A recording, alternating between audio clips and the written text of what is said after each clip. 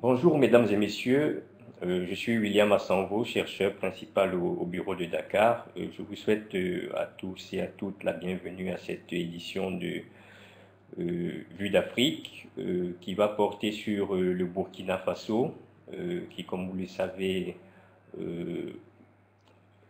organisera des élections présidentielles et législatives dimanche 29 novembre prochain. Alors mon propos aujourd'hui va s'articuler autour euh, euh, de, quatre, cinq principaux points. Euh, tout d'abord, je vais revenir très rapidement sur les enjeux de ce scrutin et par la suite, j'évoquerai aussi la menace sécuritaire qui pourrait encore peser sur la tenue de ce scrutin. J'évoquerai également les, risques, les éventuels risques de, violence électorale et de fraude. Euh, et par la suite, euh, on essaiera de discuter euh, sur les, chances des, différents candidats à la présidentielle. Et enfin, je, clôturerai ce, propos par une analyse ou une présentation des principaux défis post-électoraux auxquels le pays sera confronté.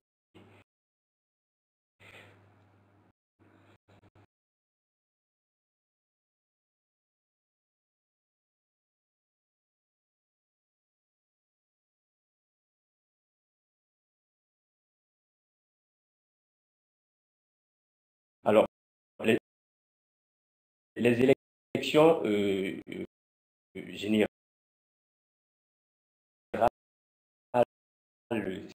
c'est-à-dire les élections présidentielles et, les élections législatives se tiendront donc le dimanche 29 novembre prochain si rien d'autre ne vient euh, empêcher leur tenue d'ici là. Euh, l'objectif et, l'enjeu donc de, ces élections, c'est bien entendu de, mettre un terme, de fermer la page de, la transition qui a été mise sur pied à, la suite de, la chute de, l'ancien président Blaise Compaoré, à la suite d'une insurrection populaire qui a eu lieu en octobre 2014.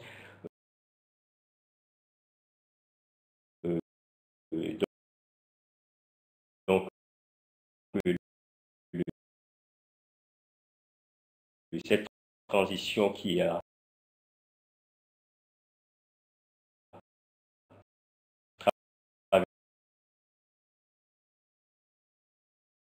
traversé et euh, euh, euh, qui été caractérisée par un certain nombre de turpitudes et, de soubresauts, notamment les multiples interférences de, du régiment de sécurité présidentielle, euh, l'ancienne garde prétorienne.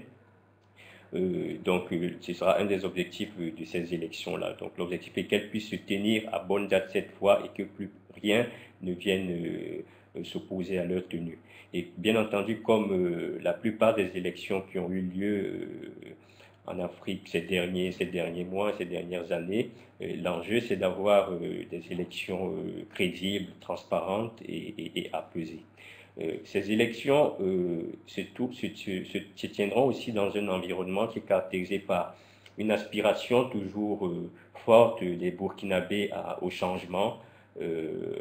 et donc, l'objectif de ces élections, l'issue de ces élections, devrait être d'avoir des institutions légitimes, cette fois légitimées par les urnes, des, institutions et des autorités dont la plupart, euh, la majorité des Burkinabés attendent que euh, prennent à bras les corps les problèmes auxquels le pays est confronté et qu'ils donnent vie à, cette aspiration euh, pour un nouveau Burkina, un Burkina nouveau, dans lequel prévalent plus de justice, plus d'équité pour, pour, tous. Et donc, bien entendu, à la suite donc de, l'insurrection populaire qui a été assez généralement saluée sur le continent et au-delà. Euh, ces élections seront donc aussi également un test pour euh, la maturité de, la démocratie burkinabé. Euh, la, principale interrogation qui se pose maintenant, suite déjà au coup d'État de, de, septembre 2015, c'est de savoir s'il y a encore une quelconque menace qui, qui pourrait peser sur la tenue de ce scrutin.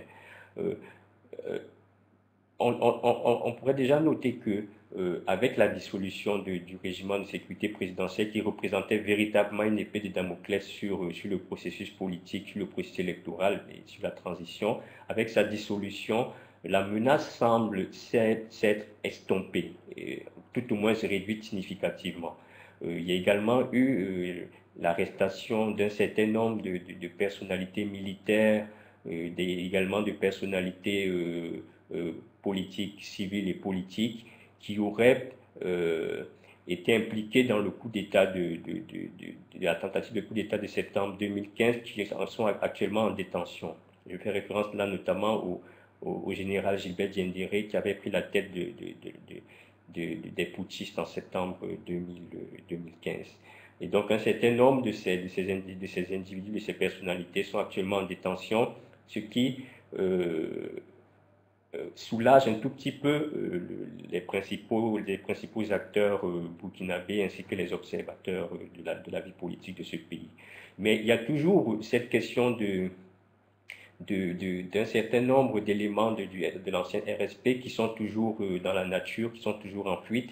On parle d'une dizaine, certains pensent à un peu plus, à, plutôt à, une quarantaine d'anciens éléments du RSP qui sont toujours en fuite et, qui, et qui, de la vie de certains, pourrait représenter euh, une, menace. Mais le sentiment globalement partagé, par les acteurs politiques et de la société civile au Burkina, c'est que la menace semble s'être véritablement estompée et qui pourrait éventuellement avoir des actions de déstabilisation localisées ça et là, mais que tout cela ne pourrait pas remettre en question et mettre en danger euh, significativement le processus et la tenue des élections euh, le, dimanche prochain. Cela étant dit, pour, pour, prévenir, euh, pour, prévenir euh, toute tentative de déstabilisation, les autorités burkinabées ont mis en place un dispositif euh, sécuritaire qui devra donc s'assurer de, de, la sécurisation du processus et également de la sécurisation aux frontières du pays. Ce dispositif qui, qui devrait être composé de, de, de près de 25 000 hommes. Donc il est un peu tôt pour pouvoir euh, évaluer quelle sera l'efficacité de ce, de ce dispositif, surtout si d'aventure euh, il y avait des tentatives de, de déstabilisation. L'autre inquiétude qu'on pourrait avoir, c'est le, risque de, violence électorale et le, risque de, fraude. cela est d'autant plus pertinent que à la suite des résultats d'un récent sondage qui, a été publié euh, le, le mardi euh, hier, qui a été publié hier, euh, on, se rend compte que qu'il y a environ, à la question de savoir quelle est l'attitude il, il, il, aurait, si, après la proclamation des résultats, le, leur candidat dénonçait des fraudes. Donc c'est la question qui a été posée aux personnes interviewées. Et, 9, 9 de ces, interviewés-là euh, reconnaissent qu'ils sont prêts à manifester pour dénoncer des éventuels cas de fraude. Donc euh, c'est véritablement, euh, véritablement une, une, inquiétude à avoir. Cela étant dit, globalement, la campagne électorale qui a débuté l'élection présidentielle qui a débuté le, le 8 novembre dernier et, la campagne pour les législatives qui a commencé le 14 novembre euh, on a observé globalement que, tout se passait dans un climat apaisé et qu'il n'y avait véritablement pas euh, de, de, tension euh, et de, soucis à se faire de ce point de vue-là. Il y a juste quelques petits, quelques petits incidents liés à, à, des, actes de vandalisme posés sur des affiches de, certains candidats par des partisans d'autres candidats. en plus de, ça, il faut noter que la, commission électorale, euh, la commission électorale nationale indépendante, qui est donc l'organe qui, sera chargé de la mise de l'organisation du scrutin, bénéficie de la confiance de, la plupart des acteurs politiques et également des, acteurs de la société civile. Euh, le processus également est, jugé crédible jusqu'à présent. Tout a été fait au niveau de la commission électorale. Euh, nationale indépendante pour euh, qu'il y ait le maximum de transparence et que la confiance des acteurs persiste. Donc, c'est de ce point de vue aussi, ça devrait réduire le, risque de, violence électorale. Cela étant dit, il, n'est pas impossible que des, dysfonctionnements, de, notamment des dispositifs dans les transmissions des résultats du dépouillement, que des, c'est un, dispositif de transmission par satellite. Donc il n'est pas possible, il n'est pas exclu que, que des dysfonctionnements surviennent le jour du scrutin et ça pourrait évidemment être source de, de, de, de, tension si, si, si, ça, si ça survenait. Donc également, donc, le risque de, contestation, comme je l'ai dit avec euh, les résultats du, sondage, est réel. Euh, la possibilité que des candidats, des, partisans d'un certain candidat, euh, de certains candidats contestent les résultats si venant leur défaveur est réelle, surtout si dans le processus électoral, on se rendait compte qu'il y avait des, dysfonctionnements, soit au niveau de, des votes, soit au niveau du dépouillement. donc, c'est un risque, je pense, qui est pour le moment euh, est, assez faible, mais qui est réel et qui pourrait éventuellement euh, s'accroître euh, en fonction de, des opérations de, vote et de dépouillement. Et, véritablement, pour essayer de, déjà de se prémunir aussi contre ce risque-là, il y a un certain nombre de dispositifs, de mécanismes d'observation qui, ont été, qui ont été mis en place, observation internationale, observation, observation nationale, il y a bien entendu l'émission d'observation de la CDAO qui est composée de, de, 133 euh, personnes, un dispositif de, l'Union européenne qui est composé de 120 personnes qui sont là depuis, euh, depuis quelques semaines déjà et, qui, va être, et qui va être renforcé. Ces dispositifs vont être renforcés dans les prochains jours. Donc à côté de ça, il y a aussi euh, des organisations telles que l'Union économique et monétaire ouest-africaine qui a dépêché euh, une dizaine de personnes. À côté de, cette observation internationale, il y a aussi euh, une observation nationale qui a été mise sur pied, notamment dans le cadre de la Convention des organisations de la société civile pour l'observation domestique des élections, qui, a, qui compte déployer euh, plus de, entre 5 000 et 6 000 observateurs sur toute l'étendue du territoire pour pouvoir s'assurer que tout se passe dans la transparence et que le scrutin soit véritablement crédible. Euh, à côté de ça, il y a aussi le mouvement burkinabé des droits de l'homme et des peuples qui, doit mettre à déployer environ 790 observateurs. Donc il y a une multitude d'organisations de la société civile burkinabé qui ont prévu de déployer des observateurs pour véritablement s'assurer que euh, tout se passe dans, les règles et que les, résultats soient aussi irréprochables que possible. Donc ça devrait réduire les risques de, de contestation. Euh, la question qui se pose, l'autre question qui se pose également, c'est celle de savoir euh, euh, quelle sera, si les, les, les, vont se déplacer en, masse. c'est une interrogation pour, le moment. Il y a un certain nombre de, mesures, d'opérations d'information, de sensibilisation qui ont été initiées par la Commission électorale nationale indépendante et d'autres partenaires internationaux pour essayer de mobiliser euh, les populations pour qu'elles aillent, pour qu'elles aillent voter le, jour du scrutin. Donc, vous avez là quelques, quelques éléments euh, relatifs au, au, précédent euh, taux de participation aux élections présidentielles de 2005 à celles de 2010 et aux législatives de, de, 2000, de 2012, juste comme, comme indication. Mais cela étant, on, devrait normalement, on, pourrait s'attendre, on devrait s'attendre à une participation assez significative euh, compte tenu de, l'enjeu euh, et du contexte post-insurrectionnel dans lequel on se trouve. Euh, la question que tout le monde se pose maintenant, c'est celle de savoir qui, sur les 14 candidats à la présidentielle, euh, sera, le, sera, sera élu, qui a le plus de chances. Euh, c'est difficile de, de, pouvoir euh, se prononcer sur, sur les chances des différents candidats, étant entendu que ce scrutin est véritablement se tient place dans un contexte politique, un environnement politique qui est assez inédit. il y a eu une reconfiguration assez significative de, de, de l'échiquier politique. donc, il est très difficile de pouvoir dire qui, qui l'emportera. Cela étant dit, il y a deux candidats qui se, qui se démarquent quelque peu de, de ce, de ce, de, du lot des 14. Il y a le, Zéphirin Diabré, qui est le, le, président de, de l'Union pour le progrès et le changement, l'UPC, et Rochma Christian Caboret, qui est le, président et le candidat de, du mouvement du peuple pour le progrès. Donc je vais peut-être m'arrêter assez rapidement sur les chances des uns et des autres. Alors j'ai procédé par ordre alphabétique, donc en commençant par Zéphirin Diabré. Zéphirin Diabré, euh, c'est l'ancien euh, chef de file de l'opposition, euh, poste qu'il a occupé depuis, depuis, depuis 2012. Euh, c'est un personnage qui, malgré la coopération euh, qu'il a eue, malgré sa participation au régime comparé, euh, il a été notamment ministre du Commerce, de l'Industrie des Mines de 92 à 94, il était ministre de l'Économie, il était député du parti au pouvoir, il était président du Conseil économique et social.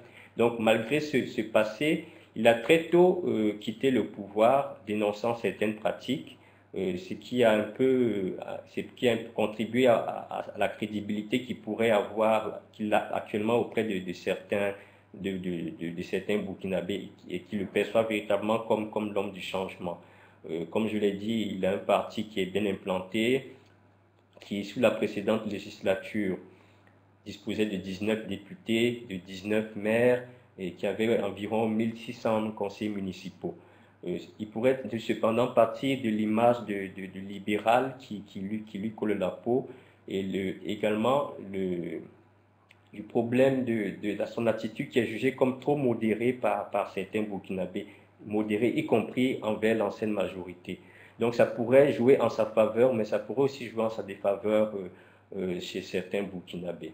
il y a aussi l'élément l'élément ethnique qui, bien que n'étant pas véritablement euh, quelque chose de très important euh, au, Burkina pourrait jouer notamment au sein de, des populations de, des régions urbaines. Euh, Zéphirin Diabré appartient à, une ethnie qui est, minoritaire et, on, ne, sait pas dans quelle mesure cet élément pourrait jouer auprès de, l'électorat qui est majoritairement euh, majoritairement illettré et analphabète et qui pourrait être touché par euh, par cette dimension-là. Mais il, faut, vraiment le, relativiser cette dimension-là et il est peut-être euh, difficile de voir euh, quel, impact ça ce facteur pourrait avoir. Alors, l'autre candidat, c'est Rochma Christian Caboret. Euh, lui, c'est un ancien du régime. Il est associé au, régime de Blaise Compaoré, dont il était un des piliers avant qu'il ne quitte le parti en janvier 2014. Euh, il était ministre de, depuis, depuis 80-92, ministre des Finances, ministre chargé des relations avec les institutions, il était Premier ministre, il était président de l'Assemblée nationale, il était secrétaire national de, l'ancien parti au pouvoir, le, le, CDP, il était président de l'Assemblée nationale, comme je l'ai dit.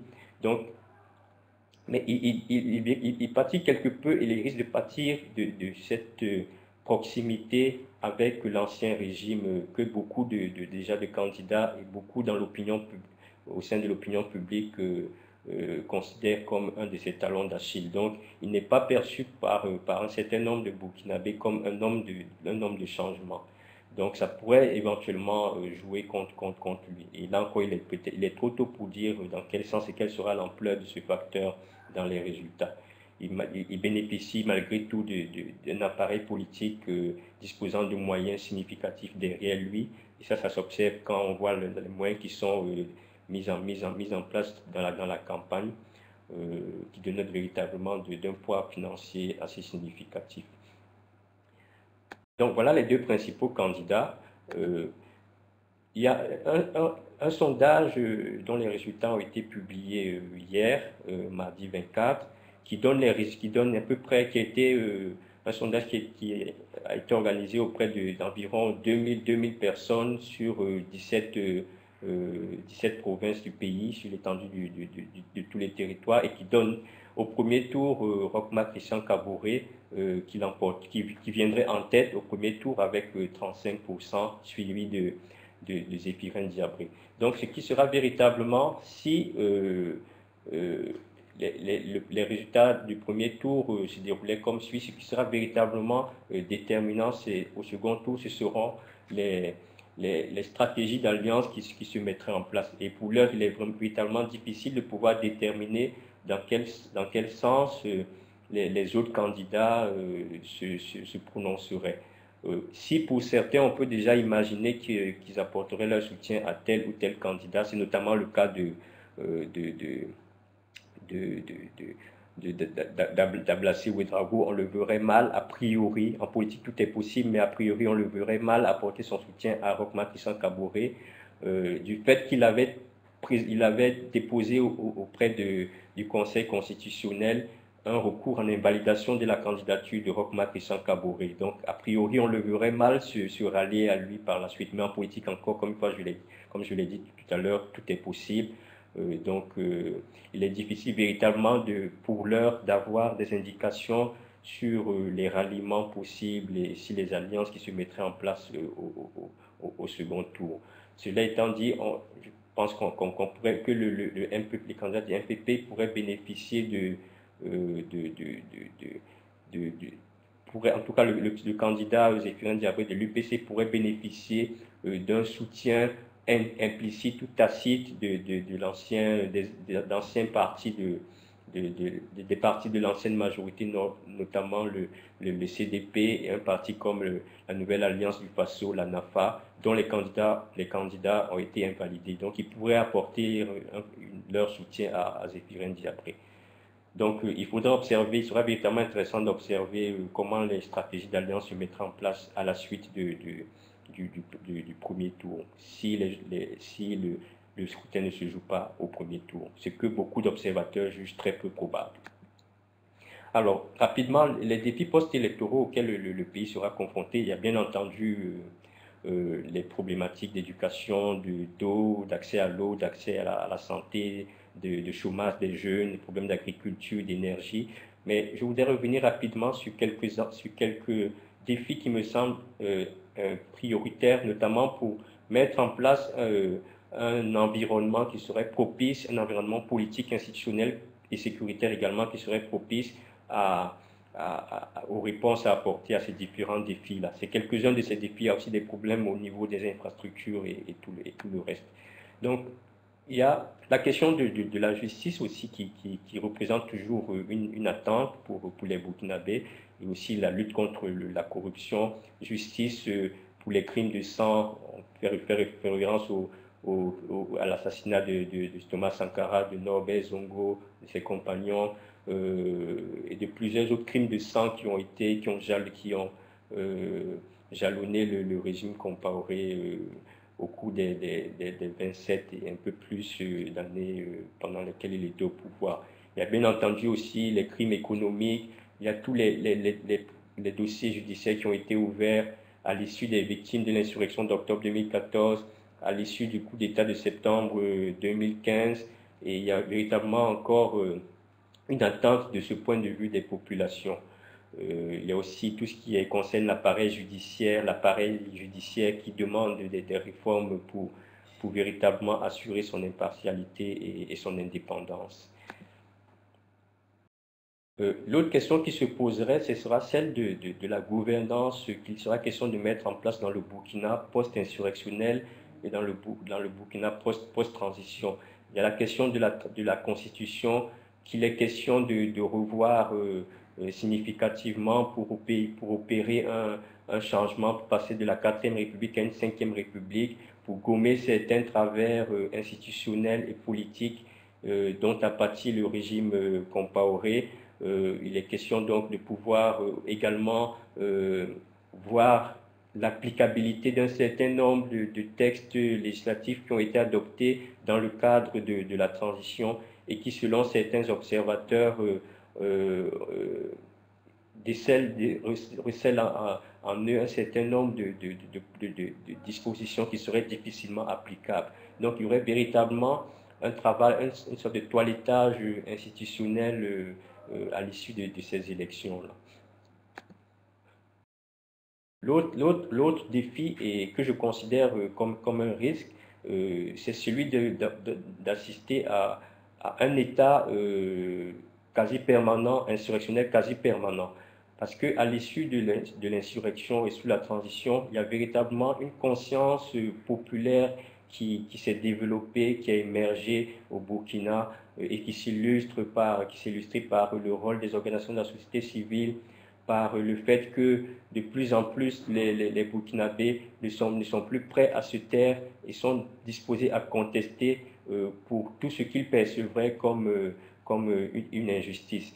On observait au cours des dernières semaines une multiplication des, grèves, des problèmes au niveau de, l'université de Ouaga, au niveau des, greffiers au sein de la justice, au niveau des syndicats. Donc il y a véritablement un climat social assez, assez délétère dont, va vont hériter les prochaines autorités. Et, je pense que l'état de grâce ne sera pas du tout, s'il y a état de grâce, il ne sera pas du tout euh, long. Et, les, organisations de la société civile, les syndicats conscients de, de, de, leur, de, leur, rôle, de leur pouvoir, de leur nouveau pouvoir, ne sont pas disposés, et ça c'est clairement, clairement affirmé, ne sont pas disposés euh, à, à, à, laisser, à laisser passer certaines choses. Donc véritablement, ça pourrait fragiliser euh, les prochaines autorités si, à l'issue du, scrutin, euh, le, président, euh, le président ou alors l'Assemblée, les prochains députés n'étaient pas élus, avait pas une majorité parlementaire, par exemple, pour le, prochain président, et, si les résultats de la présidentielle remettaient quelque peu en question sa légitimité. Donc il y aura véritablement un, climat politique et social assez tendu et délétère euh, à la suite des prochaines élections. Et le fait que euh, le, les prochaines autorités ne pourront plus reposer sur les piliers de l'ancien régime, à savoir euh, les acteurs comme le, régime de sécurité présidentielle ou l'armée, rendra véritablement ce, ce pouvoir-là fragile. Donc l'autre élément aussi que je voulais rapidement évoquer, c'est bien entendu le, contexte régional, le, contexte sécuritaire régional, euh, qui de plus en plus euh, est en train de, se rappeler au bon souvenir du Burkina. On a eu en avril, euh, en avril dernier, le, en avril 2015, l'enlèvement d'un Roumain dans la ville de Tambao. Tambao, c'est à l'extrême, à l'extrême nord, on voit à l'extrême nord du Burkina. Également en, août, en août dernier, il y a également eu une, attaque contre euh, la gendarmerie dans la ville de Oursi, qui est également dans la région de, Tambao, un peu en haut de, de, la ville de, de Gorum Gorum. Donc euh, il y a véritablement une menace euh, sécuritaire qui est en train de, se renforcer. Et récemment encore, en, octobre dernier, il y a eu dans, le sud du pays, au-dessus de la ville de Orodara, sur, sur, sur, à l'ouest, il y a également, dans la ville de Samorogon, il y a une attaque contre une gendarmerie qui, qui, qui, a connu euh, environ euh, trois, trois gendarmes qui ont, été, qui ont été tués. Donc il y a véritablement un contexte sécuritaire euh, régional qui, qui va représenter un défi pour les prochaines autorités. Et avec le, la, dissolution du RSP, le, le, pays se retrouve quelque peu démuni face à cette menace-là. Donc il y aura véritablement un effort pour faire, pour, à faire pour réformer l'armée, pour le doter de, capacités pour faire face non seulement aux, aux menaces sécuritaires internes, mais aussi à l'environnement international.